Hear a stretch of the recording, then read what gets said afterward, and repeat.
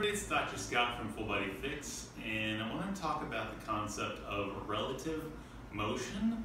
And this is important because so many people stretch and use mobility drills and never see any long lasting results, and I'm going to explain why that is.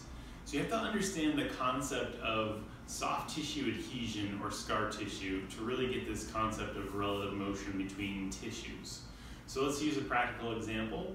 For example, say you have a problem getting into front rack position, so wrist extension is a mobility issue of yours, and you constantly are doing things like wrist extension, drills to try to improve that, and you don't see long lasting results. One of the reasons you might be seeing that is because there, you've developed soft tissue adhesions between the tissues of those muscles that you're trying to elongate.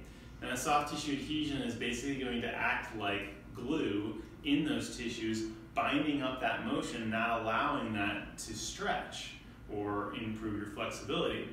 The only way you're going your stretching or your home mobility stuff is going to work is if you break up that scar tissue adhesion, and that's where a technique like active release technique comes into play. If we go in there, we can actually manually break up some of the soft tissue adhesions in between adjacent tissues, then we're improving the relative motion and slidability of those tissues.